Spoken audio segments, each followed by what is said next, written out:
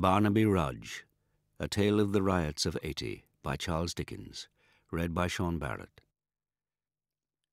Preface The late Mr. Waterton, having some time ago expressed his opinion that ravens are gradually becoming extinct in England, I offered the few following words about my experience of these birds. The raven in this story is a compound of two great originals of whom I was, at different times, the proud possessor. The first was in the bloom of his youth, when he was discovered in a modest retirement in London by a friend of mine and given to me. He had from the first, as Sir Hugh Evans says of Anne Page, good gifts, which he improved by study and attention in a most exemplary manner. He slept in a stable, generally on horseback, and so terrified a Newfoundland dog by his preternatural sagacity that he has been known, by the mere superiority of his genius, to walk off unmolested with the dog's dinner from before his face. He was rapidly rising in acquirements and virtues when, in an evil hour, his stable was newly painted. He observed the workmen closely, saw that they were careful of the paint, and immediately burned to possess it. On their going to dinner, he ate up all they had left behind, consisting of a pound or two of white lead, and this youthful indiscretion terminated in death. While I was yet inconsolable for his loss, another friend of mine in Yorkshire discovered an older and more gifted raven at a village public house, which he prevailed upon the landlord to part with for a consideration, and sent up to me.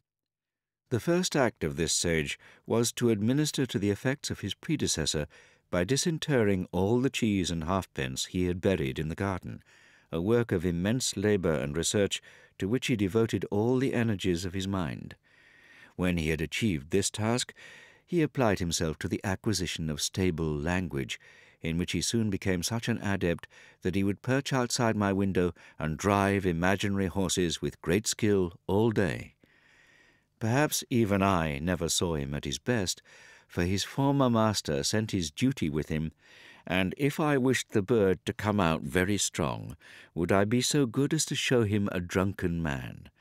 Which I never did, having, unfortunately, none but sober people at hand. But I could hardly have respected him more, whatever the stimulating influences of this sight might have been.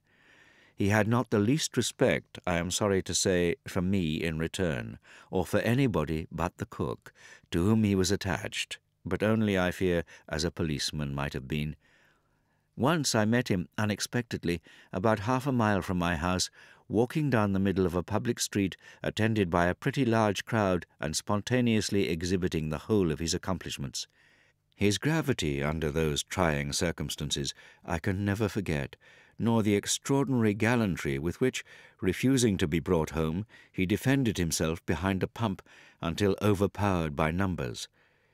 It may have been that he was too bright a genius to live long, or it may have been that he took some pernicious substance into his bill, and thence into his maw, which is not improbable, seeing that he new pointed the greater part of the garden wall by digging out the mortar, broke countless squares of glass by scraping away the putty all round the frames, and tore up and swallowed in splinters the greater part of a wooden staircase of six steps and a landing.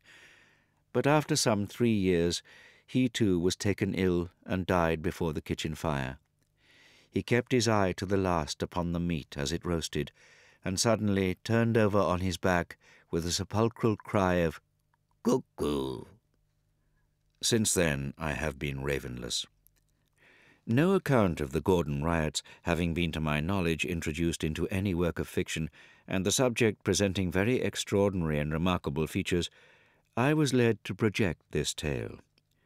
It is unnecessary to say that those shameful tumults, while they reflect indelible disgrace upon the time in which they occurred, and all who had act or part in them, teach a good lesson that what we falsely call a religious cry is easily raised by men who have no religion, and who in their daily practice set at naught the commonest principles of right and wrong, that it is begotten of intolerance and persecution, that it is senseless, besotted, inveterate, and unmerciful, all history teaches us. But perhaps we do not know it in our hearts too well, to profit by even so humble an example as the No Popery riots of 1780. However imperfectly those disturbances are set forth in the following pages, they are impartially painted by one who has no sympathy with the Romish Church, though he acknowledges, as most men do, some esteemed friends among the followers of its creed. In the description of the principal outrages, reference has been had to the best authorities of that time, such as they are. The account given in this tale of all the main features of the riots is substantially correct. Mr. Dennis's allusions to the flourishing condition of his trade in those days have their foundation in truth and not in the author's fancy. Any file of old newspapers or odd volume of the annual register will prove this with terrible ease. Even the case of Mary Jones, dwelt upon with so much pleasure by the same character, is no effort of invention. The facts were stated exactly as they are stated here in the House of Commons. Whether they afforded as much entertainment to the merry gentlemen assembled there as some other most affecting circumstances of a similar nature mentioned by Sir Samuel Romilly is not recorded.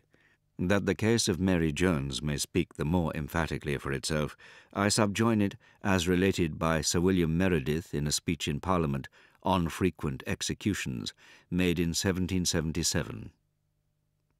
Under this Act, the Shoplifting Act, one Mary Jones was executed, whose case I shall just mention. It was at the time when press warrants were issued, on the alarm about Falkland Islands.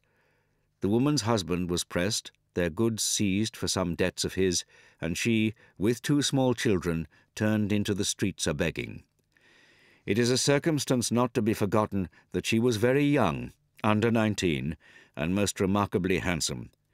She went to a linen draper's shop, took some coarse linen off the counter, and slipped it under her cloak. The shopman saw her, and she laid it down. For this she was hanged.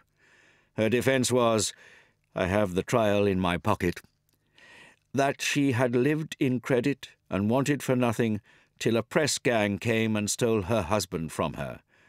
But since then she had no bed to lie on, nothing to give her children to eat, and they were almost naked and perhaps she might have done something wrong, for she hardly knew what she did.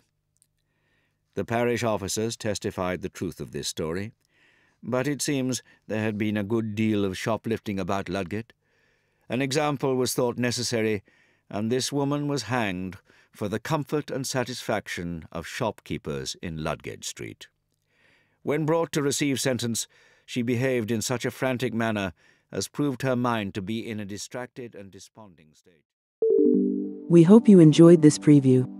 To continue listening to this audiobook on Google Play Books, use the link in the video description.